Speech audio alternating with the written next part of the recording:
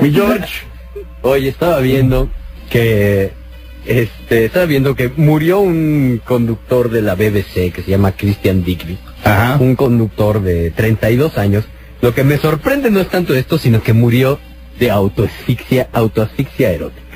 Oh, no. A los 32 años. Entonces me puse a pensar, dije, oye, ¿cuántos se han muerto ya de esa onda? De- Y nada, y nada más así, en el recuento rápido, o bueno, que se supone que murieron así. Ajá. Está Michael Hutchins, ¿no? El de, el, el de Inexcess. Sí.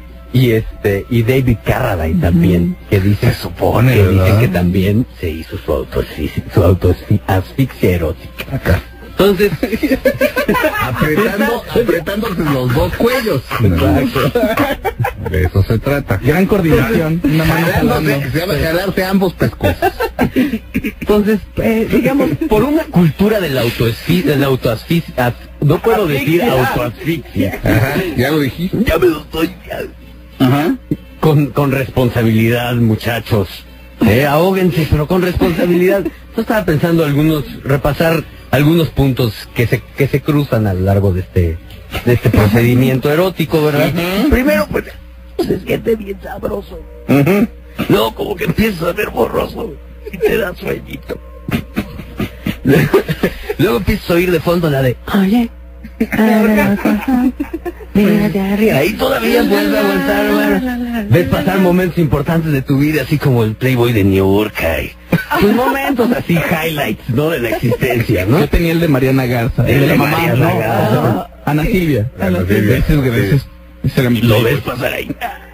Después de eso, si ya aparece Chabelo y te dice, respira, respira. Mejor respira, porque estás a punto de morir. Recuerda que hay una diferencia entre un ah y un ¿Quién? por una aut- autoasfixia erótica, lo dije, responsable. Muy bien, Buen consejo. muy bien. ¿Te ha decidido algo que decir al respecto de esto? Ay, no. Pues, ¿quién, habrá- ¿quién se habrá puesto a investigar si cómo se sentía placer ahorcándose, no? O sea, ¿quién se le habrá ocurrido? Bueno, lo que pasa es que es, es legendario, o sea, los, Sí, ahor- los, No los ahorcados, los ahorcados, este, Sí, se mueren, se mueren. se mueren, digamos, de pie. Sí, por eso la mandrágora, ¿no? Que crece al pie de los ahorcados, es, es- se supone que es un elemento de hechicería para hacer embrujos de amor. Sí. Te ahorcas a alguien y ese alguien, al ahorcarlo, Sí. entonces así. Y se supone que de esa semillita crece una planta que es la mandrágora. Ah. Qué padre, ¿verdad? No, pues no sabía que volvías de algo más. Vamos a corte, regresamos a disparar, Margot dispara.